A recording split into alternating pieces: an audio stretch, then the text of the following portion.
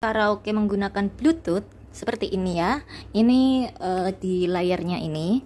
Ini kan masih aux. Aux ini terkoneksi dengan kabel jack ini. Kalau mau karaoke menggunakan bluetooth ini di pilihannya ini ditekan sampai muncul tulisan bluetooth. Bluetooth mode. Ya kalau waiting for connection. Jadi harus diaktifkan dulu. Ini. Namanya pas ini sedang menghubungi bluetooth connected muncul tuh uh, kalau sudah ada suara Bluetooth connected berarti ini sudah terkoneksi. Jadi siap untuk memutar lagu. Ini karaoke dari YouTube ya. Tinggal tancap ya nggak perlu settingan apa-apa langsung tancap ini langsung bisa